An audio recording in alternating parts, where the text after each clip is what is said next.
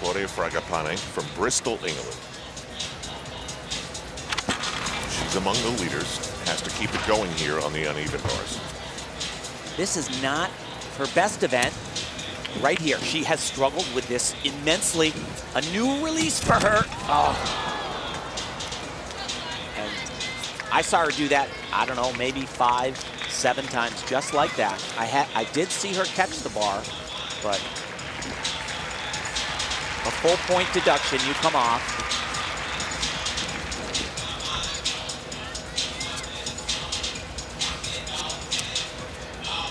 Nastia, you, you, can speak to when something like this happens at a certain point of your routine and it happens over and over and over again, it really has to get in your head.